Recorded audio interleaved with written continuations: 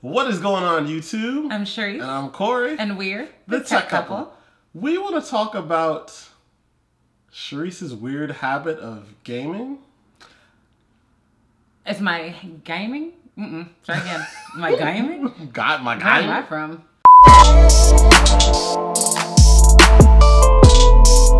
What's going on, YouTube? I'm Charisse. And I'm Corey. And we're the Tech Couple. We're going to talk about Charisse's weird gaming habits. Is gaming the weird habit or? No. Okay. So, like most of us, or maybe the majority of us, I'm not trying to isolate anyone.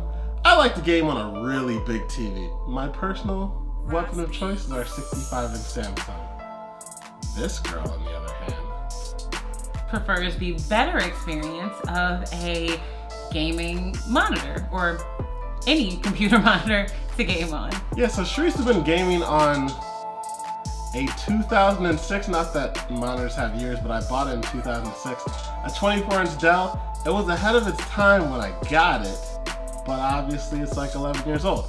We've since upgraded to Xbox One X's, and I wanted Charisse's to have the full 4K HDR experience. Problem is, is it's hard to find a monitor that's 4K, that supports HDR, that supports HDMI over 60 frames per second, which is technically HDMI 2.0. And to find all of these in one package, argh, it's like impossible. So after feeling out all of the other competition, we were down to two monitors that seemed to meet most, if not all, of the desired criteria for my perfect monitor upgrade and we landed on the Dell Ultra Sharp 27 inch Infinity Edge Ultra HD 4K HDR monitor. Ooh, say that three times. if you want to find it quickly, it is the Dell U2718Q and the Samsung 27 inch CHG70 gaming monitor with Quantum Dot, aka QLED. QLED. So there were a few things that were really important to us when we were deciding which monitor to upgrade me to. First, I wanted to make sure that I could game in 4K. I've been stuck in 1080p for a long time and 4K is twice the amount of pixels. Of course I want to experience games like that. Now, with all those pixels, I needed a high refresh rate. Basically, that just means that the screen image can update and change very quickly, which might give you a small competitive advantage if you're playing something that moves really fast like Call of Duty. And lastly, I wanted it to be an HDR. That allows your colors to be really bright and really dark at the same time. So you can experience games the way that they're supposed to be. Beautiful. So the Samsung caught my eye because it's advertised as a QLED gaming monitor. Now I'm a firm and heavy follower of QLED, so to see that in a monitor seemed like no brainer. It has a curved display, 144 hertz refresh rate, which is super quick. One millisecond response time, which like she said earlier, allows you to switch or allows the image to update extremely fast. It supports AMD FreeSync, which is supposed to provide a liquidy smooth type of uh, display, but it wasn't actually 4K. It's a 1440p monitor, which is essentially I won't say halfway, but it's between 1080p, so it's a better resolution there, but it's not quite full 4K. What is cool though is it still will accept a 4K input and it will downsample it to 1440p, so you kind of get a win there since the Xbox One X currently doesn't support 1440p. The PS4 Pro won't and doesn't support 1440p at all. So all in all, the Samsung did provide a great picture. The QLED was surprisingly vibrant. Everything we played, which is pretty much Call of Duty, Destiny. More Destiny. More Destiny, or Destiny 2, shall I say. Yeah. It looked really good on screen. I don't know if I could tell the differences with AMD FreeSync compared to the other monitor we got. And of course, with it being a little more expensive, not having the 4K resolution kind of was a little bit of a deal breaker for us, especially considering Charisse wanted to double her monitor as something she could use to dock her MacBook Pro. Not having that full 4K resolution was uh, a little bit of a disappointment, but if you're looking for a purely gaming monitor, this bad boy rocks. It has two HDMI ports, one display port, and it even has three USB 3.0 ports so you can charge your phone, tablet, controller, whatever else you got going on.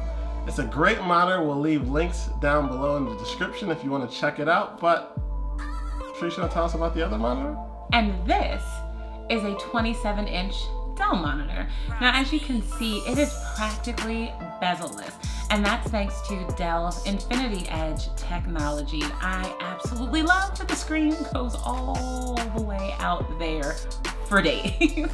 Additionally, this is a 4K monitor. It supports 4K resolution at 60 hertz, which is phenomenal.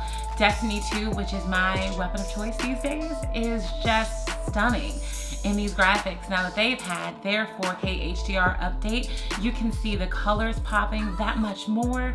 The text, words I never even saw before, you can read very, very clearly from this gorgeous screen. I also love that it is an anti-glare screen. I came very close to a natural light source, AKA the sun, and it keeps it from getting all shiny and awkward during the day. It's it's just such a beautiful display. I also love that it's 4K because I get to edit videos like this one on it by mounting my MacBook Pro. It makes the screen that much easier to work with. I can see so much more on it now that it has a dual purpose um, beyond just gaming. And while the MSRP of this Dell is around $730, I'm gonna let you in a little secret.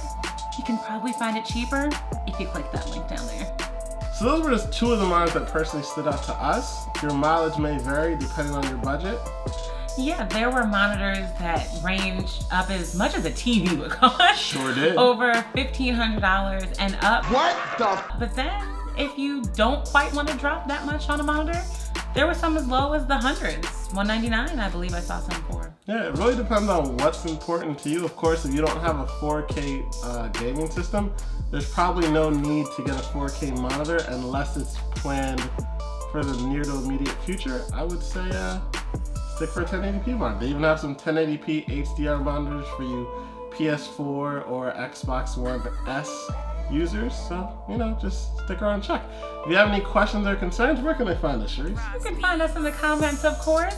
We try to be active and answer as many things as accurately and quickly as possible. So drop us some comments. Questions about these?